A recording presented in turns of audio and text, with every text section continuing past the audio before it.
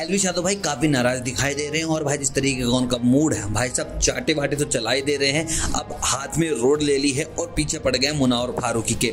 उनका एक गाना है, आपने देखा होगा। भाई गाने के पीछे डंडा लेके होली हैं और जिस तरीके के भाई उनके रिएक्शन थे, मेरे को तो लगता है भाई साहब दिल्ली, गुड़गांव, जब भी आएगा मुनावर, पिट के जाएगा।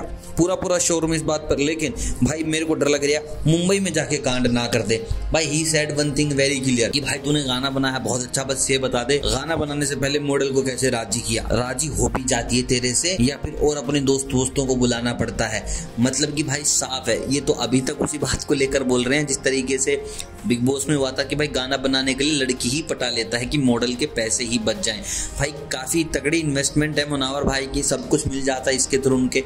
बाकी भाई एलविस ने कहा कि भाई साहब, तू अनुराग को जोकर कहता था, तू खुद इस गाने में जोकर गोबर दोनों लग रहा है। अब देखते हैं भाई, मुनावर का इस पर क्या रिप्लाई आता है? भाई जनता आपकी राय क्या है? कॉमेंट में बताएँ। मिलता हूँ आपसे जल्द। Bye bye